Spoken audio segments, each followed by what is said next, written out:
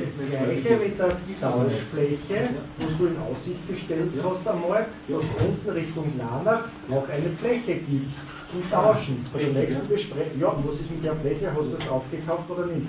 Wir haben. Weil sie scheinbar zu teuer, weil sie scheinbar zu teuer war, das stelle ich jetzt mal so in den Raum, oder?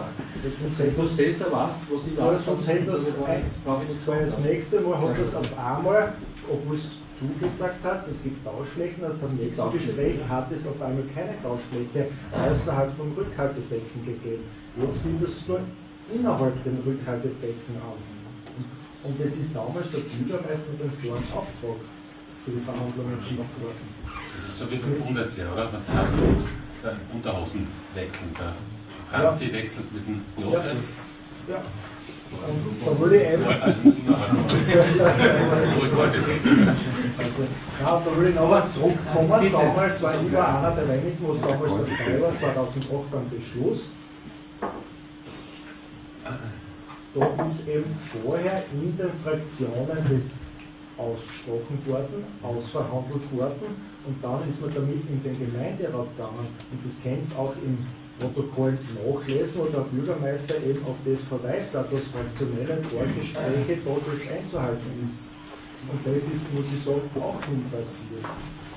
Sie sind in sonst- Gemeinderatssitzungen, in vielen Gemeinderatssitzungen ist darüber berichtet worden und da werden alle Gemeinderäte informiert. Also, wo ist das Problem? Es Die Die hat es aber oft genug Die gegeben, Informat- diesbezüglich. Die- Weißt du, was für Information das gekommen ist? Was du gefragt hast im. Bericht des Bürgermeisters, dass es Gespräche gegeben hat, die sind gut verlaufen.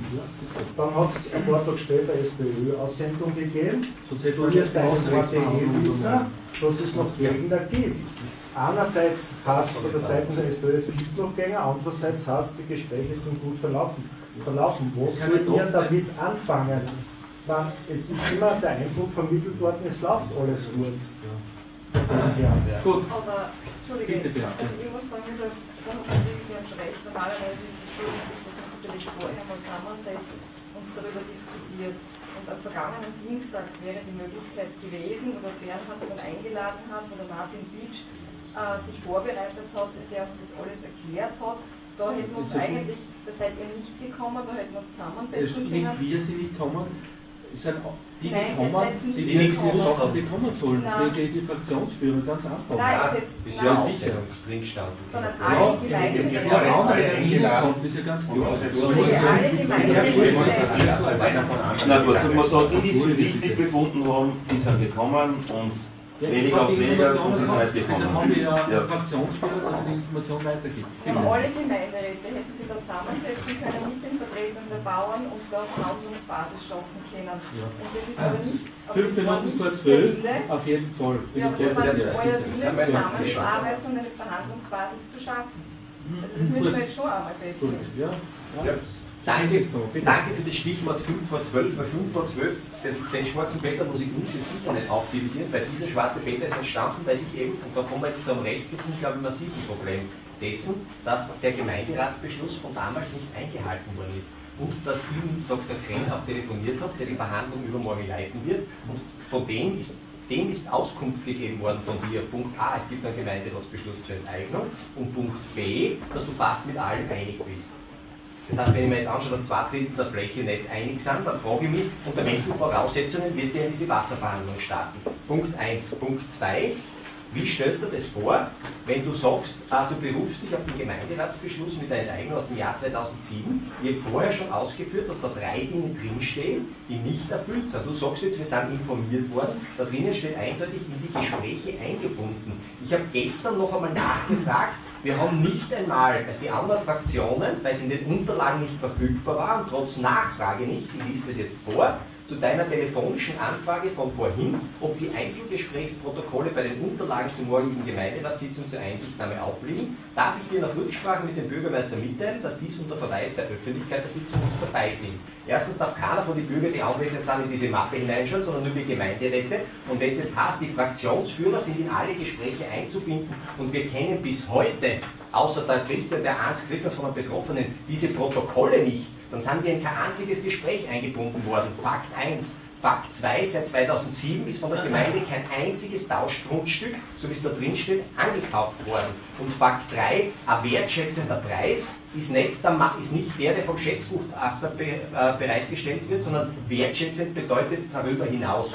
Und zwar einiges darüber hinaus. Und das sind drei Punkte, warum dieser Gemeinderatsbeschluss nicht halten wird, auf den du dich stützt für die Enteignung von übermorgen. Umso wichtiger ist es, dass wir heute zu einem Kompromiss kommen. Und ich, habe euch, ich frage jetzt noch einmal, was ist von euch das Angebot in diesen zwei Punkten, wo wir gesagt haben, die anlassbezogene Entschädigung und die Erhöhung der Kosten für den direkten Staudamm, den, den Preis. Was ist da eure Vorstellung, außer Nein zu sagen? Weil wenn wir Nein sagen, dann können wir jetzt aufstehen und gegen, weil dann kommen wir zu keinem Ergebnis. Wie gesagt, du hast vorher gesagt, die Bauern müssen entgegenkommen, du kommst uns jetzt mit gar nichts entgegen, weil es gibt kein Angebot, das bei diesen zwei wesentlichen Punkten am Tisch liegt. Und vielleicht können wir zu dem anlassbezogenen, außer, ja, das ist mehr, das stimmt, das ist mehr eine Interpretation Ja. der Angelegenheit und die lasse ich einfach so stehen. Ja. Wir haben uns in unserer Fraktion beraten und wir sind zu einem Ergebnis gekommen.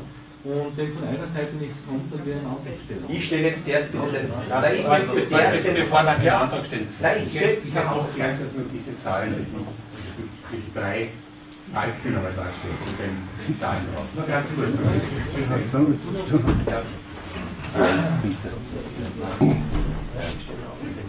Es gibt das Sprichwort, das heißt, glaube ich, keiner Statistik, sondern nur der Statistik, die sie selbst gefälscht hat. Wie schön. Ja. Jedenfalls, der, der Martin Dietsch hat seine Zahlen offengelegt und wir sind draufgekommen, er hat sich verrechnet um 50.000 Euro. Und er ist aber jetzt nach den Rechenfehler korrigiert auf Mehrkosten von 381.000 gekommen. Wenn ich jetzt die Spalte, die mittlere gegen die dritte vergleiche, da ist die Differenz etwas größer, was die Mehrkosten sind. Also ich hätte gerne diese Berechnungsbeispiele. Das müssen wir nicht jetzt machen, da haben wir die Zeit nicht dafür, aber ich möchte diese Zahlen nachvollziehen können. Trotzdem, wenn du sagst, 1,36 Millionen sind dir zu viel und der Martin Pitsch sagt, es kostet aber nur 381.000 Euro, dann haben wir doch einen super Kompromiss gefunden, oder? Von den Zahlen her schon. Die Experten sagen aber was anderes. Und ich sage mal, ich muss mich daran halten, fairerweise, was die Sachverständigen äh, eine Auskunft geben. Und schlussendlich können wir nur das machen, äh, was uns das Land noch dann schlussendlich auch genehmigt. Und ich halte einfach an die Gesetze und Verordnungen, die da einfach sind. Und für mich ist das klar. Äh, Im Andersfall gibt es es nicht. Wir, wir sind bereit, dass wir sagen, äh, einen Euro legen wir dazu, dann sind wir im oberen Bereich, das heißt, das ist sowas, was die Grundauflösen anlangt, das heißt, dann sind wir bei 7,50 Euro und dann sind wir über dem, was der Sachverständige sogar festgestellt hat. Ich stelle jetzt bitte einen Antrag, und zwar stelle ich den Antrag, dass wir, wir haben einen Experten unter uns. Und bis jetzt haben wir nur von dir gehört, dass die anlassbezogene Entschädigung äh, nicht gesetzeskonform ist quasi oder nicht bewilligt wird vom Land. Ich stelle jetzt den Antrag, den Vertreter der Landwirtschaftskammer, der heute unter uns ist, das ist der Bezirksobmann, der wahrscheinlich die meiste Erfahrung in diesem Gebiet hat und der quasi auch der Vertreter einer äh, Körperschaft öffentlichen Rechts ist, dass der uns jetzt beauskunftet, ob das gesetzlich möglich ist oder nicht. Gesetzlich möglich. Ich bitte jetzt, Sag ich mal, du hast gesagt, es geht nicht. Nein, das Es ist geht nicht. nicht. Der sagt einfach ganz klar, wenn wir etwas wollen, dann sollen wir nicht im Andersfall, dann soll das ganz Ja, anders, soll. so was der Sachverständige festgestellt hat, so abgegolten werden, weil wir uns nicht über Generationen hinaus verschulden können. Und wir auch nicht wissen, was natürlich in, in 50 oder 100 Jahren der Fall ist. Und wir können nicht den anderen aufbürden, noch, wenn wir mal nicht mehr sagen, dass ich etwas dann zahlen soll, äh, was irgendwie einmal Ich stelle- was ja, Entschuldigung, aber eins, was du sagst, wenn wenn Kinder und so aufwürden, also den Grundbesitzer, den Kindern und Enkelkindern, denen würden wir schon aus, dass sie die Hochwasserschäden später aber selbst beraten müssen, wofür sie aber überhaupt nichts dafür können. Das möchte ich auch einmal in den Raum stellen. Und das ist, das ist einfach der Fall. Ja, was das- Situation können wir nichts ändern. Das können wir schauen. wir liegen in einem Hochwasserbereich, Entschuldige, wir liegen jetzt in einem Hochwasserbereich und wenn jetzt Überschwemmung kommt und der Schaden entsteht, kriegt er nichts dafür. Wenn jetzt ein Damm gebaut wird, dann kriegt er sehr wohl etwas. Das heißt, das ist ein wesentlicher Unterschied. Das heißt, er liegt in einem HP30, HP100 Bereich, der sich nicht ändern wird. Ich sage, und da wird eher die Ja, das ist, sowieso. die haben das berechnet beim Land und die sagen, das ist in Ordnung. Wenn es im Und wenn du Anlassfall sagst, das ist, dann stimmt das Wertminderung nicht, was du wesentlich, sagst, aber danach. wesentlich Weil das Land muss sich natürlich an die gesetzlichen Vorgaben halten und somit hat sich die Ich Sache. habe einen Antrag gestellt. Ich habe den Antrag gestellt, dass wir bitte vom äh, Vertreter der Landwirtschaftskammer, als ein, den einzigen Vertreter, den wir heute unter uns haben, Auskunft darüber bekommen, ob es möglich ist, im Anlassfall zu erzählen. Ja, das hat Jens auf einmal zugegeben. Gerade vorher gesagt, wir dürfen es nicht vom Land. Also ich möchte trotzdem Das vom Land hat mir das Ja, Antrag klar. Und es ist auch wesentlich, deshalb gibt es die Sachverständigen, die Gutachter und die Experten, die einfach sagen, was Sinn macht. Ich stelle trotzdem jetzt den Antrag, den Vertreter der Landwirtschaftskammer zu diesem Thema zu hören.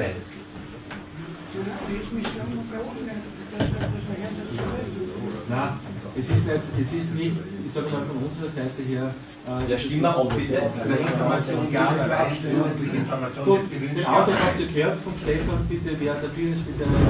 Ist die SP dafür, dass sie zusätzliche Information bekommt? Ja oder nein? Wir haben die. Die Angst ist ziemlich groß.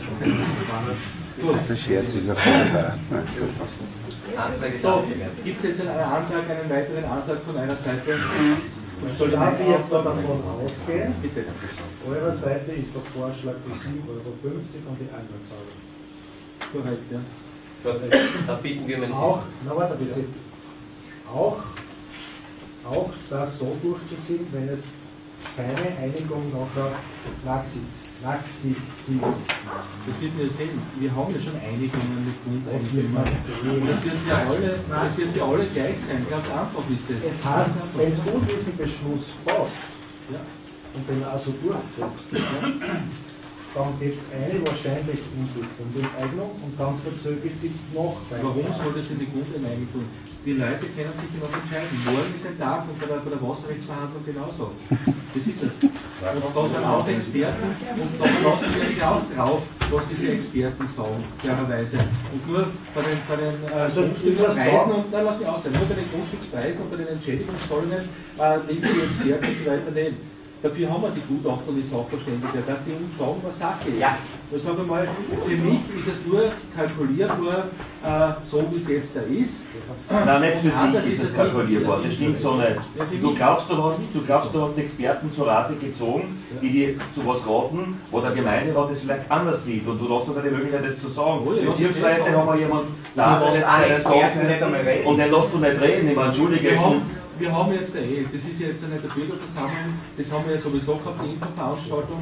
Die Zeit wäre ja sowieso schon gewesen, äh, schon lange vorher. Jetzt sind es ein Monat vor der Wasserrechtsverhandlung, sind alle schei geworden, plötzlich noch danach Holler. Jetzt Du hast uns nie jetzt eingebunden. Yes, was Null! Wir waren bei keiner einzigen, wie es im Gemeinderatsbeschluss 2007 drinnen steht, wir waren bei keinem einzigen Gespräch dabei. Habt ihr in der Fraktion beschlossen. Nein, das ist keine Interpretation, das sind Fakten. Ihr habt die Informationen von uns erhalten, was unser Vorschlag ist. Und wir haben euch den Vorschlag gemacht, dass wir uns zusammensetzen und Gestern. der Roman schickt uns ein, ein SMS oder E-Mail und sagt, nein, ich setze mich mit euch nicht zusammen. Das Ja, ist am Zusammenhang. Sonntag am Genau, ja. Abend. Heute ist die Sitzung, vor zwei Tagen, wann jetzt hat, was hat denn der liebe Ja, vorigen Dienstag, ja. Da haben wir am Samstag auch drüber geredet, ist ja kein Problem. Ich habe jetzt eine andere Sache, die ich noch anmerken möchte. Und zwar, das Risiko, ich weise jetzt noch einmal darauf hin, Punkt A. Seite, wenn wir keinen einstimmigen Gemeinderatsbeschluss zusammenbringen zu dem Thema, dann heißt es, die, ein, ein Teil der Bauernschaft wird das nicht akzeptieren. Das heißt, es läuft wahrscheinlich zumindest für einen Teil auf eine Enteignung hinaus. Dann haben wir zumindest eine halbjährliche, habe ich ausgeführt, Verzögerung des Ganzen. Noch dazu heißt es, es wird vom Landeshauptmann, es müsste gar nicht enteignet werden. Wenn der sagt, das sind zu viel, das gehen wir auch das Risiko ein. Das heißt, wir gehen das Risiko ein, gar keinen Hochwasserschutz zu bekommen. Aufgrund von Vielleicht schon das einfach mal beraten, Das heißt, das das das ist eine das ist nicht meine Meinung, das sind Szenarien, die möglich mal, ich sind. nehme zur Kenntnis, was Das du sind sagst. Möglich Ich sage sind. mal, ich bin auch mit den, Die mit den Experten zusammen vom Land, die mir klar sagen und auch von der BH, die klar sagen, was Sache ist und wie es funktionieren kann. Und äh, daran werden wir jetzt ja nicht abweichen, Ja. äh, dass wir jetzt eine äh, im Andersfall bezogene Entschädigung Das bezahlen. dritte, was, Bringt ein anderes Angebot, Du hast- du hast keinen Gemeinderatsbeschluss, der meiner Meinung nach, und das wird dann auch die Aufsichtsbehörde noch klären, im Vorfeld wahrscheinlich, der gültig ist, der einer Enteignung zustimmt. Das ist einmal das Nächste. Das heißt, das sind drei Punkte, die die Gefahr darstellen und deswegen unterstelle ich dir jetzt, dass du die Ernsthaftigkeit des Hochwasserschutzes, den wir heute hier beschließen könnten, nicht äh, auf Sicht gesehen hier äh, öffentlich machst. Es ist ganz, ganz schlimm. Wir könnten heute mit einem Angebot, das vorgerechnet worden ist, wie nichts, was von euch gekommen ist und von Gemeinde